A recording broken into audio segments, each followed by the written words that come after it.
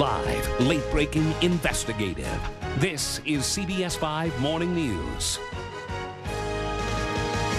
How about a little inspiration? A Valley teen is in the fight of his life, literally trying to box his way into the 2008 Olympics. Yeah, and all new for you this morning, Sarah Karlstrom tells us how his journey to this point hasn't been easy.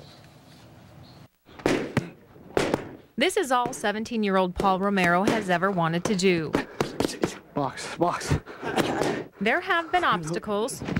Sometimes it's hard, you know. Kids got a lot of other things that in their mind besides not just boxing. Including being kicked out of high school two years ago. But this teen was able to turn it around, even graduating from another school early, all because he has a dream. To try to make it to the 2008 Olympics.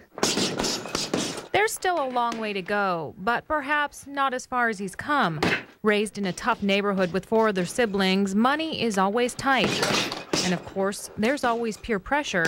Romero seems to be beating the odds. I never did none of that. I never smoked, smoked a cigarette, drank a beer, anything in my whole life. And it shows. Last year, he was number one in the 112 pound weight class in the West, number three in the entire country. And it takes discipline. Even with only 5% body fat, staying this size takes work. When everybody else's house is eating good in the house, mom making food and I have to eat a, a salad with lemon on it, you know what I mean?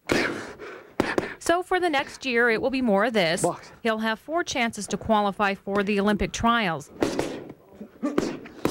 And if you ask him if he can do it, this boy from Maryvale will tell you there's nothing he can't do. Sarah Karlstrom, CBS 5 News. All right, thank you, Sarah. Boxing, unlike other sports, is year round. Romero has raised the money to fund his boxing dreams by holding car washes.